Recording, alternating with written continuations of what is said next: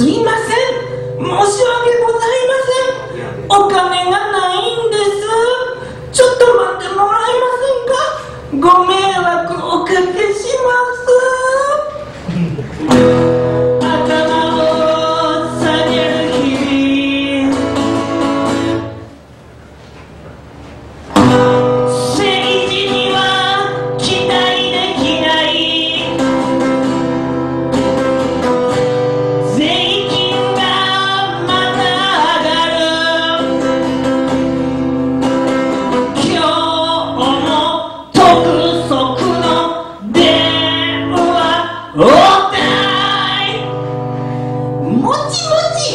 すいません。申し訳ございません。来月まで待ってください。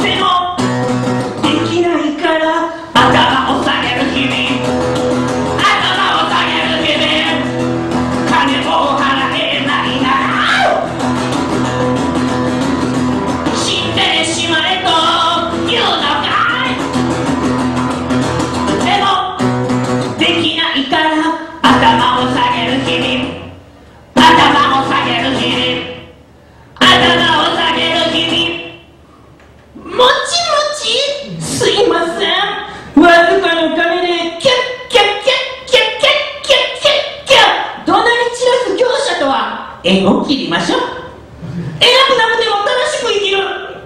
苦しい時こそ人のありがたみがわかる。人見で物言わなあかんで。桃栗3年かけ8年。誰が最後に笑うのか。不景気いつまで続くんやろ。I don't know わかりません。消費税増税反対。社員が私の宝です